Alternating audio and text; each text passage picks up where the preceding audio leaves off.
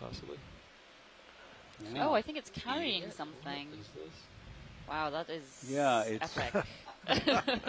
So that looks like a mysid shrimp and a possum shrimp. You can see the white um, brood pouch underneath its body, and it's carrying some organic particle, but I don't understand what that long trailing thing is. Taking a break. I think that's oh, part oh, of it. oh, oh. I think that's Yeah. part of it as well. I know, but I've certainly not heard of anything remotely like that before. I think it's a parasite. Um, the Ctenophore, the comb jelly, is called Bathocyroe. Thanks, Mike Ford, for that.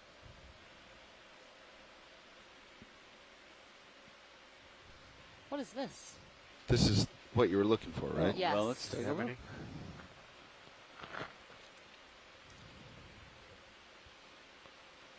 It's a walking. Oh, it's a hermit crab with the Go ahead. colonial zoanthids on it. I was thinking this is some kind of bone with like bone-eating worms on it. No, not not that exciting. It's got quite Um, the load Still very exciting Yeah. though. It looks It's like actually a snail got shell. maybe two- it's not no. a herb. It's a but- sh- it's a gastrop a live gastropod with two anemones on it, Rotate around to the other side. and I've not seen that before. I'm touching down, Roland, so it's going to be a little more difficult. You want to give you anything easy. yeah, this is a lot to, for We'll this just hold- animal to we'll just carry. hold here for now. I feel like he went overboard on his uh, on his, uh, decor. so that um, that fish we saw a little earlier with the uh, the elongated barbels is um, a phycid hake, P H Y C I D. Pilot's clear. Thanks, Bob. Can Bob. you rotate around? It's Spot on. Uh, Wow, amazing. a good image. How big was that? Can we just flick on the laser a second? Okay, not that big. so it's about only 10 about centimeters. f- uh, five. I don't have a great inches pirouette, across or something Mr. like Video, that. because it's so low to the Total. ground. I can try. Lasers are clear. Copy that. Let's go in partial. It's interesting that the anemones are pointing downward rather than upward.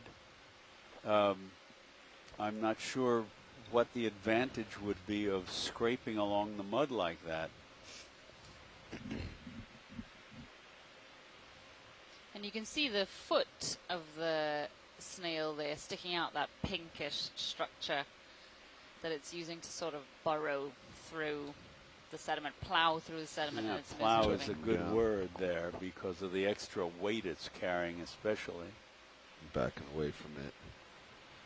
Yeah, let's let it go, video. I've come too far around. Oh, and there's a couple shrimp around.